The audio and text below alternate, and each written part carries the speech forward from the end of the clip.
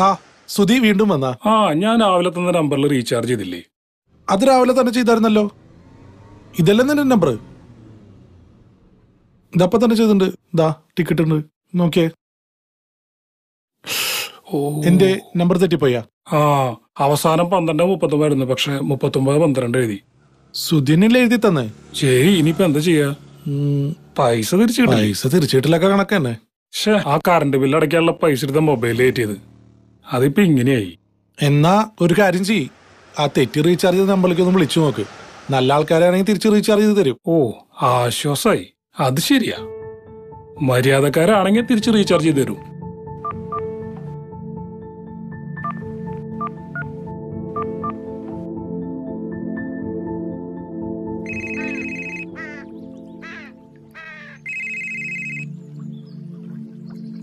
ഉമ്മ phone അടിക്കണേ.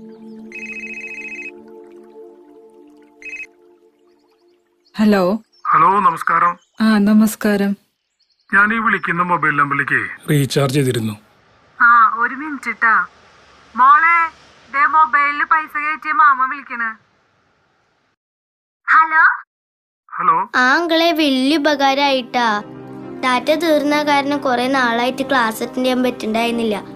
Recharge ചെയ്തു തന്നത് ആരാണെന്ന് അറിയില്ലായിരുന്നു. ഇപ്പോഴാ മനസ്സിലായത് അങ്കിളാണെന്ന്. ഒരുപാട് സന്തോഷം അങ്കിൾ എന്താ പറയണ്ടേന്ന് അറിയില്ല. ശരിക്കും കരച്ചിൽ വരാങ്ങളെ സന്തോഷം ആ മാമന് സന്തോഷായി മോളെ. മോളുടെ പേരെന്താ? ഐഷാനാ ആ ഐഷാടെ ഉപ്പ മൊബൈലിൽ റീചാർജും ചെയ്ത് തരില്ലേ ഇല്ല വാപ്പച്ചി ഇല്ല.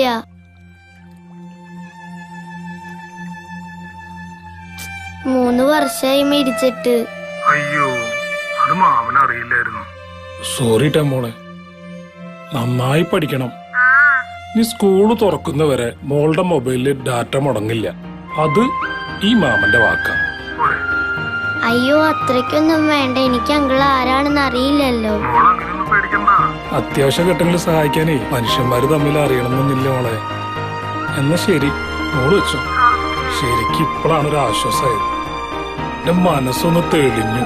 കയ്യിൽ ഒരുപാട് പൈസ വന്നിട്ട് മറ്റുള്ളവരെ സഹായിക്കാന്ന് വെച്ചാൽ ഒന്നും നടക്കില്ല അതെ ഉള്ളോണ്ട് ചെയ്യാം. അത്ര ഗ്രാൻഡ് ഗ്രാൻഡായി സുധി നിന്നെ സമ്മതിച്ചു. നന്നായി. നല്ല കാര്യം.